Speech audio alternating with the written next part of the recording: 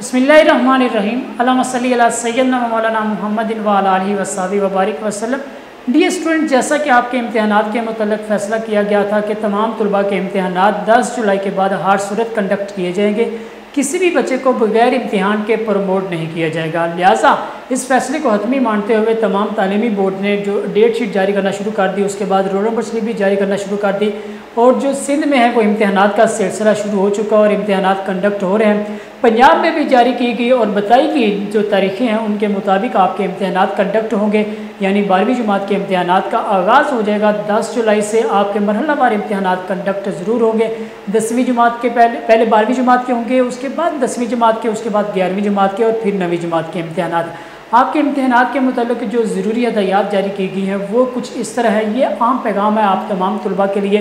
इस पैगाम को फॉलो करना आप तमाम तलबा पर लाजिम है। इसलिए कि ये पैगाम आपके लिए भी अहम होगा और दूसरों के लिए भी।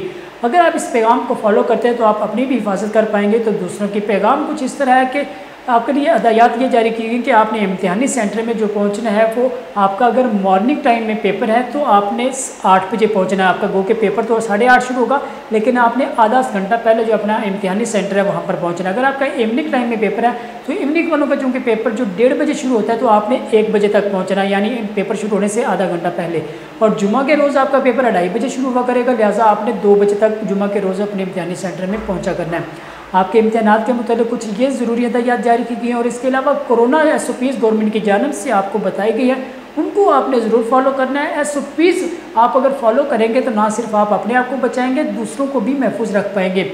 अगर आप अपनी हिफाजत करेंगे, यानी आप किसी के करीब ना जाएँ, ग्रुप की फॉर्म में आपने खड़े नहीं होना, किसी भी तरह का आपने ग्रुप वगैरह नहीं बनाना, वहाँ पर इम्तहानी सेंटर में आपने खुद भी फासला इख्तियार करना है। मास्क लगाना है, सैनिटाइज़र का इस्तेमाल करना है और एहतियाती तदाबीर को मुकम्मल तौर पर अपनाना है।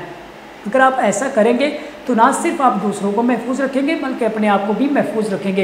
ये चंद ज़रूरी हदायत आपके लिए जारी की गई हैं। इम्तहान आपके आपके ज़रूरत होंगे। किसी भी बच्चे को बगैर इम्तहान के पास नहीं किया जाएगा।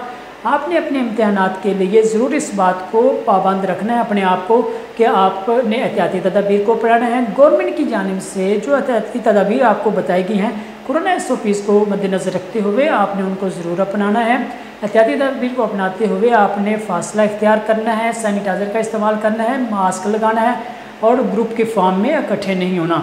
आपके इम्तहान के मतलब आपकी तालीम के हवाले से जो भी अपडेट आती रहती है, हम आपके तक पहुँचाते रहते हैं। आप तमाम तलबा के लिए बेस्ट विशेज़ नेक तमन्ना आपके इम्तहान कंडक्ट हो गए। अपने इम्तहान की तैयारी बेहतरीन अंदाज से जारी रखें। बिल्कुल अपना वक्त ज़ाया ना करें। अगर आप इम्तहान में कामयाब हो गए तो यकीन ये आपके लिए भी खुशखबरी की बात होगी, खुशी की बात होगी और आपके वालदेन के लिए भी। आप तमाम तलबा के लिए बेस्ट विशेज़ नेक तमन्ना है। बेस्ट ऑफ़ लक हाफिज़।